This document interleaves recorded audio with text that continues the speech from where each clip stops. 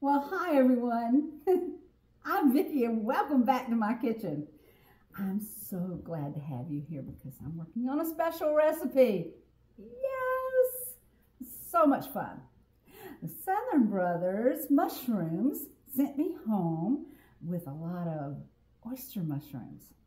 And I'm going to show you how to prepare them and how to use them in a couple of dishes. I used them for breakfast in a um, mushroom scramble and they were awesome with sliced ham and eggs and mushrooms together.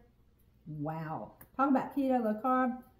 This is, these mushrooms are so full of vitamins and minerals and they're low in carbs and they can substitute as noodles. And today we're doing a scampi, and it's my scampi, um, on a bed of beautiful mushrooms. Now I'm going to show you in a little bit how to garnish this. But first, let's talk about how I made it. Oh, how do y'all like my t-shirt? Isn't this cool? One of my friends, Teresa, this is a picture of her. And this is a friend, Dawn. And this is me. And we went to a conference together for Pampered Chef, and our sweet friend made us these t-shirts, and I love wearing mine. You know, our team is not just a team, it's a family.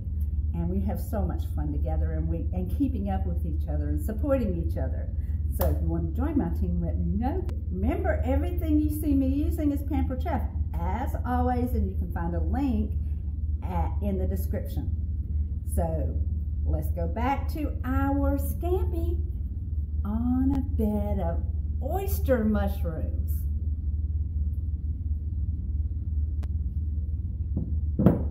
And this is how I did it. So let's talk about cleaning oyster mushrooms. What I do is at first I take the configuration and cut the bottom off of it. Bottom's a little tough anyway, and I'm wanting them to look like this, strips. I take a silicone brush and brush them clean if I see any grit or any sand or anything on them and sometimes I'll take the edges off if it looks rough. Um, but I'll clean them off real good.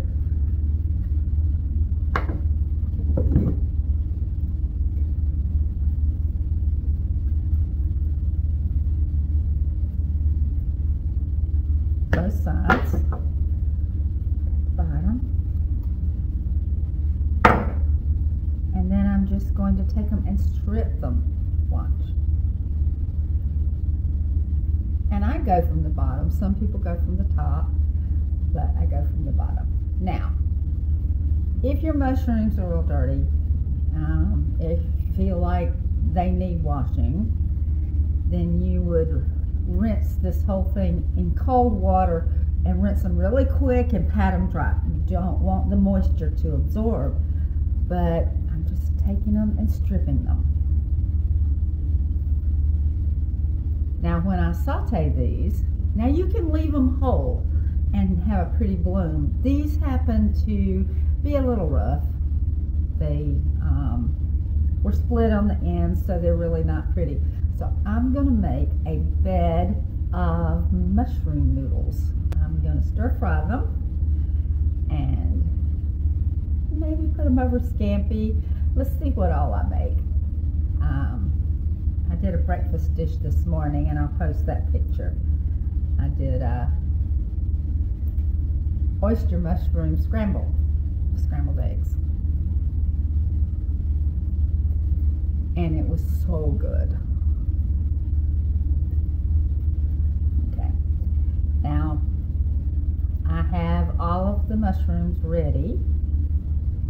And these were really clean, so I'm not having to go back and wash them again.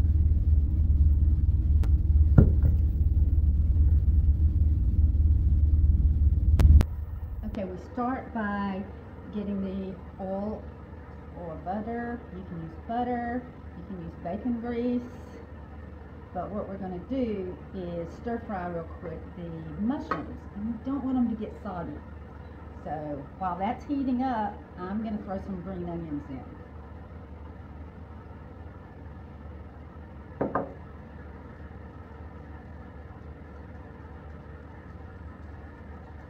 I love this It's contoured like a wok and it holds a lot of things.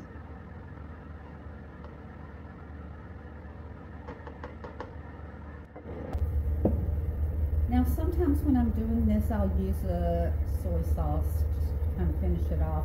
But today I'm going to be using a toasted sesame seed oil. Just a few drops. Now this is very strong and you don't need to use a lot of it.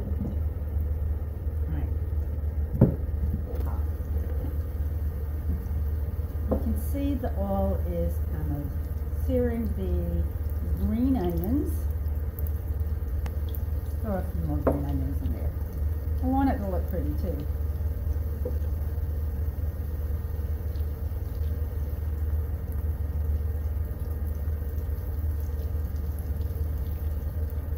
Okay, it's getting good and hot.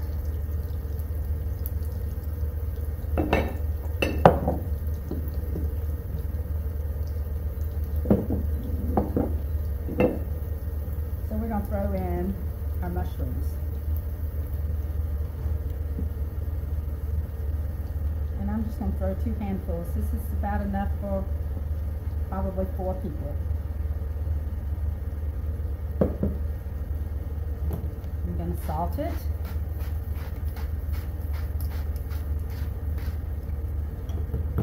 And a little pepper. Now, I like cracked pepper best. Fresh pepper, you can smell the difference.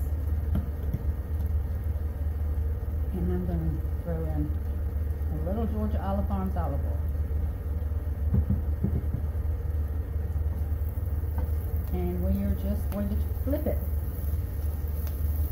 Make sure the oil and the butter coat your mushrooms well.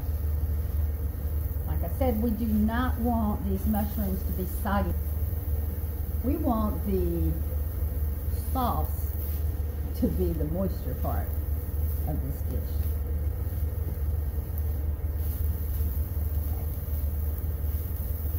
let them cook for a second and then I'll flip them again.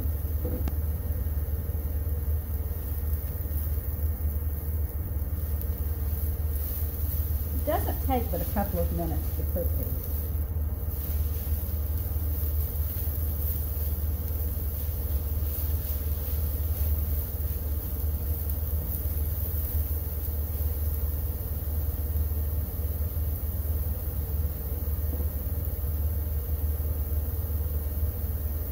Let's go ahead and put a couple drops of the sesame seed oil.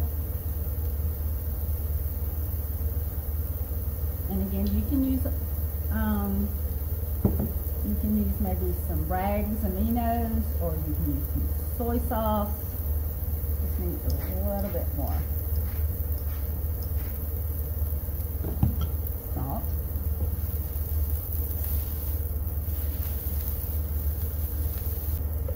I like playing with my microgreens and putting them in things. And this one's actually a carrot microgreen. And I'm just going to take some and just put a little bit in there, color. And for taste.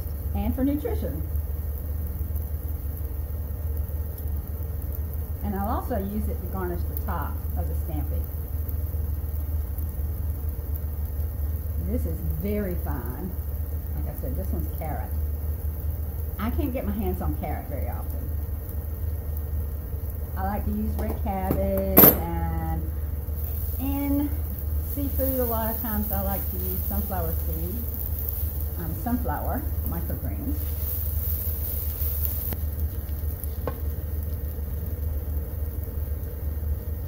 I'm going to put a napkin on the plate and absorb a little bit of the oil.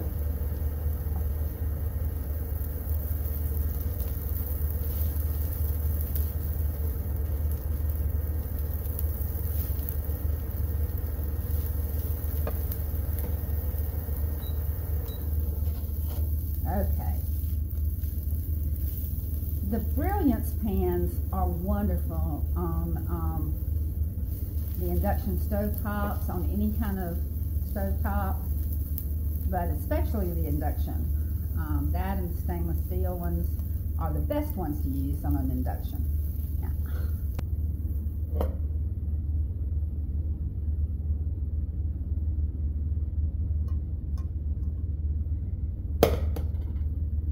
So here's my noodles. Actually, mushrooms. Looks like noodles, doesn't it? And it tastes really good. So I'll come back and show you the scampi. Okay. So we've got the butter warming up and I'm gonna go ahead and throw in one sweet pepper. Like I said, this is not your traditional scampi. This is my scampi. About a half a cup of green onions. And we're going to let that start searing and then we'll add the shrimp. Shrimp cook really fast. And we don't want to add the garlic in yet because garlic will burn. So we want to get this softened up and then we'll start with the other. I'll be back in a minute. See how it's sizzling? Got to put in the shrimp and we've already patted them dry.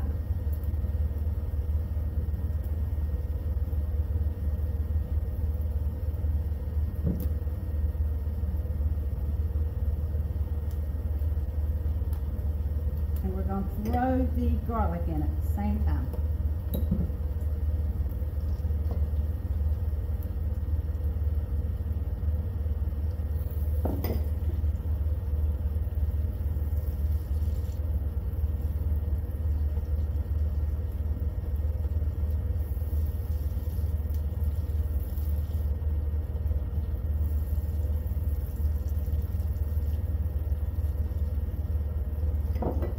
And I am going to throw a little bit of bacon in. Everything's better with bacon. Like I said, this is not your scampi. This is mine. And yes, I do leave the tails on the shrimp. They're cleaned and deveined, but I left the tails on them.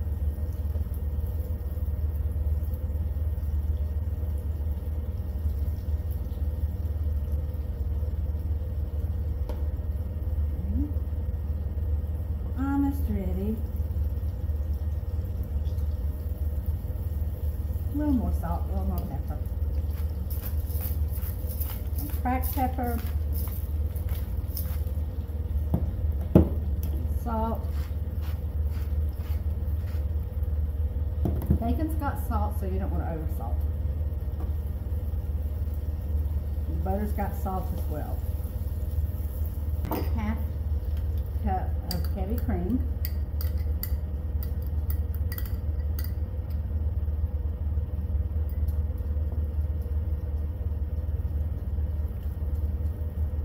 And that's the last ingredient. Unless you want to put a little bit of, um, like a little hard Parmesan on the to dress it. So we're just going to let the cream settle in and mix with the butter and the oil. There is olive oil in here. Um, I put the olive oil in the, the roasted garlic. So that all went in together. When I roast my garlic, there's olive oil in the bottom of the um, container, and I just pour it in when I store it. So it has, the, that olive oil has the taste of garlic in it as well. Okay.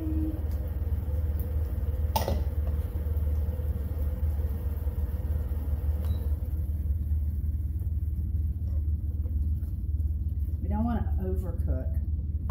So check this out.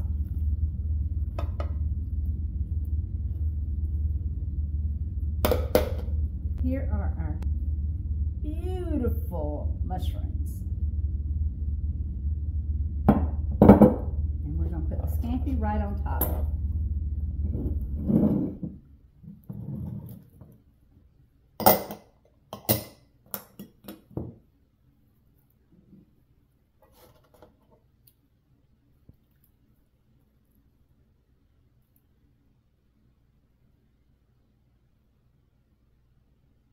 Isn't that pretty? Oh my gosh, I can't wait to try it.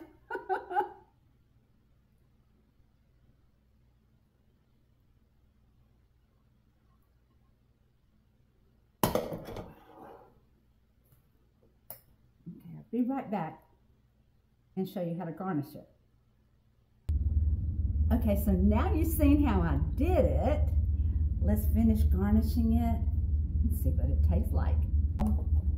I love my farmer's market and I get Steel Magnolia Market Gardens microgreens and she has all kinds. Probably the red cabbage is my favorite all purpose, but this one is actually carrot. So I wanted to try it and play with it a little bit. Um, it's not one of your usual ones that you can find a lot of. But I'm just going to take a little bit and put it over the top. You don't have to overwhelm it. Microgreens are superfoods. Unfortunately, I can't eat green leafy vegetables anymore as much as I love them. So, but I can eat microgreens. Isn't that crazy? Now, sometimes I would put a little toasted sesame seeds on the top of the scampi. Um, this time I'm going to put just a little bit of fresh grated parm. This was a really good aged parm and I grated it myself. It's not one of those boxes, but you can use that. That's what you have.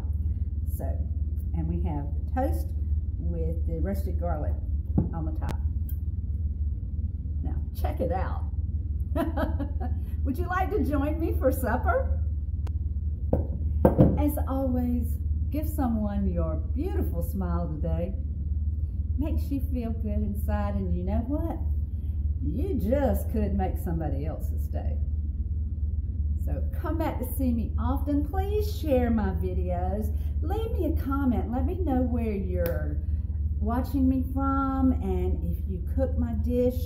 Get some inspiration about different mushrooms. I'm going to be posting some other ones. I'm on post. I like to make a lion, use lion's mane in my clam chowder or oyster chowder, either one. And I need to do a video on that and show you how to do that. But I roast my lion's mane mushrooms and I leave them in the refrigerator ready to use for different things. And I use them in place of um, potatoes because you know, I cook keto low carb most of the time, and this is an amazing keto low carb dish. The noodles are mushrooms, not noodles, so it's not so high in carbs, and it's really good for you. All right, come back to see me soon. Bye.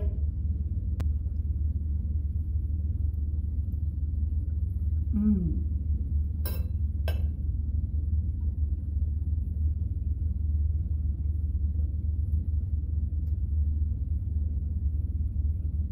Excuse me.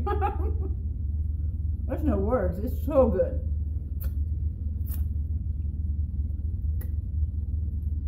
I'm going to call a friend to come try it. So, see you later. Bye again. So I thoroughly enjoyed creating these four dishes from these oyster mushrooms. Next time, I'm going to try ricing them.